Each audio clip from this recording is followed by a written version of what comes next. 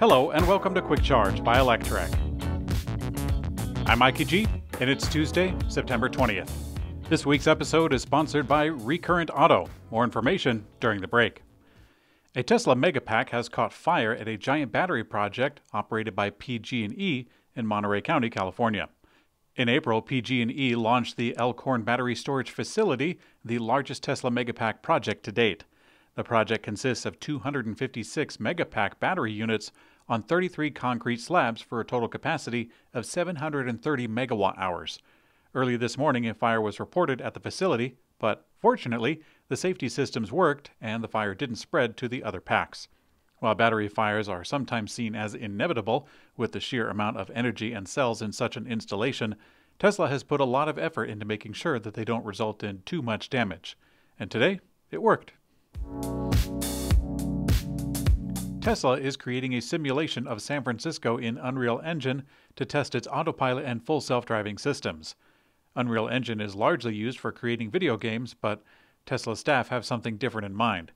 Just for testing of their vehicles, Tesla is making their own San Francisco environment as real to life as possible.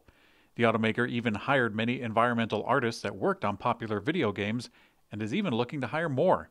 Tesla currently has several job listings for autopilot simulation, and it describes the role of autopilot rendering engineer.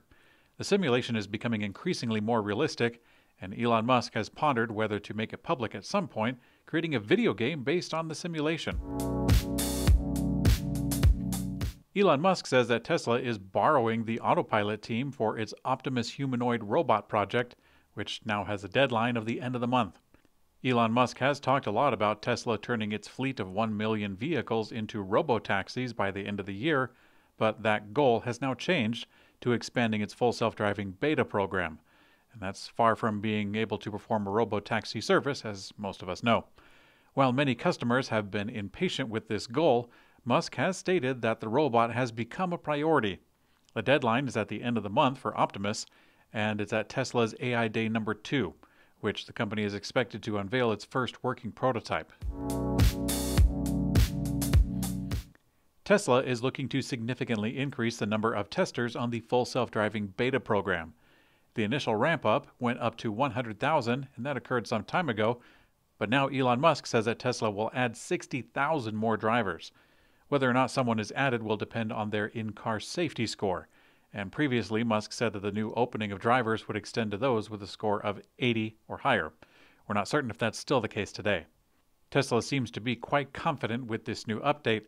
However, from our perspective, it should be noted that this titular driving system of full self driving is not full self driving, and if you do get access, please pay attention and stay safe as is put in the requirements. This week's Quick Charge is sponsored by Recurrent Auto. Recurrent lets you check the battery before buying a used EV and monitor your battery's performance with monthly insights using its free battery reports for EV owners. And the new Range Score tool by Recurrent is like an odometer for EVs. It tells you at a glance how far a used EV can go compared to when it was new. It's especially helpful for people who are new to EVs and don't always know about the questions to ask about range and degradation.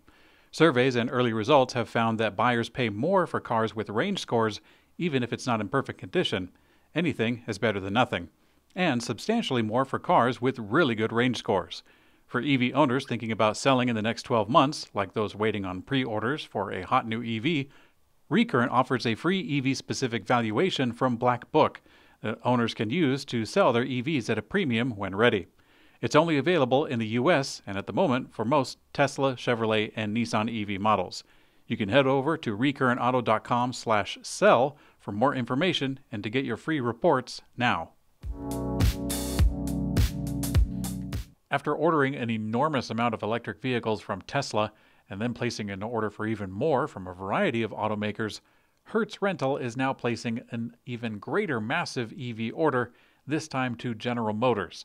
In a joint press release today, Hertz and GM announced that they are going to deliver up to 175,000 electric vehicles from several GM brands over the next five years. They will first start with the Chevy Bolt EV and EUV, expected to be delivered in the first quarter of 23. After that, Hertz plans to buy EVs from all of GM's brands, even BrightDrop, which is the electric delivery van. If it follows the typical rental market and offerings, we expect the Equinox EV and Blazer EV to account for a large part of the order. Hertz is trying to build the largest electric vehicle fleet in North America, and they're already well on their way with tens of thousands of Tesla vehicles already delivered to their 500 locations. It is also renting a few more tens of thousands of Tesla vehicles to Uber drivers, and it keeps getting bigger and bigger. With this kind of inventory, they might even be able to make a profit simply by reselling the cars that they have scooped up. The CEO of Ram Trucks believes that the company's electric pickup has what it takes to overthrow the competition. Ram Trucks is quickly falling behind as automakers like Ford and Rivian are already scaling up production of their highly anticipated pickups. The parent company to Ram, which is Stellantis, has been putting emphasis on many of the other brands, and in the USA a fair amount on the Jeep brand. But now the CEO of Ram has something to say. The CEO, Mike Koval, spoke to the Detroit Free Press, talking up the release of the brand's electric pickup and discussing Ram's feedback on towing, range, and charge time. He said that Ram is mindful that trucks still need to be trucks and do truck things. Ram still has a ways to go to catch up with Rivian, who has delivered close to 6,000 trucks last quarter, and Ford, who has sold around 6,800 since the release in April. And also, with Chevrolet touting their Silverado, Ram certainly won't be alone in their arrival. At some point, Tesla's Cybertruck and 1 million reservations will begin to flood the streets, but at the moment, speculation for its release are speculative, to say the least. Fisker has announced that they will partner with Wallbox to offer EV charging solutions to Fisker EV owners. Aside from the past difficulties from the early 2010s, Fisker has had some recent endeavors of ups and downs trying to get their EVs to market. In their second quarter earnings, the company reported over 56,000 reservation holders, up 6,000 from early June. But also in July, they asked their Ocean One reservation holders to shell out an extra $5,000 for a non refundable deposit to be a pre order, which was a sign that they needed some cash.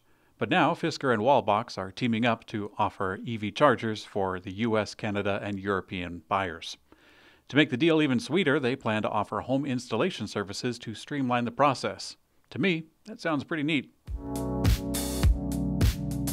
Kia will start producing electric vehicles in the United States starting in 2024 in order to qualify for new EV tax credits from the Inflation Reduction Act. Over the last year, Kia and Hyundai have led other non American companies in the U.S. sales of EVs, though the change in the EV credits have dealt a blow that might leave them in a slump for a little while. By the way, did you know that we have a guide on our website which lists all the tax credits that EVs qualify for in the US?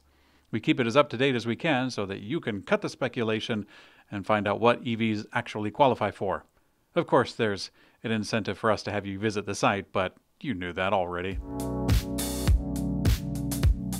In today's community comment found on YouTube, Atgull says, Xpeng stole Tesla's ADAS code. Well, Atgull, we can't say that with 100% confidence. It's true, last April, Tesla settled a lawsuit in which they accused a former employee, Guangzhi Zhao, of downloading the autopilot source code to his personal device before leaving and selling it to Xpeng when he joined the company. The engineer did admit to downloading some of Tesla's autopilot source code, but he claims to have deleted it before leaving the automaker and never having transferred it to Xpeng. At any rate, legally the matter has been settled and we know that there was a payment from Zhao to Tesla in that settlement. With that in mind, we can't say for legal certain that the employee gave it to Xpeng, or even if Xpeng profited from this alleged sale. There is one thing for certain this lawsuit occurred in 2019, and whatever progress has been made by Tesla or Xpeng has been done on their own. I don't wish to excuse intellectual property theft, it is something that's often brought up when discussing Chinese companies. But this case has been settled, and we shouldn't pass judgment on the company until we have something solid to hang our hat on. I don't have my head in the sand about Chinese manufacturing or common company cultures. I found it quite fascinating and also a little concerning that China was only able to manufacture ballpoint pen rollers starting just five years ago. I'm getting a little bit off topic, but there you have it. Thanks for watching Quick Charge by Electrek. I'm Mikey G, and I hope you have a great day.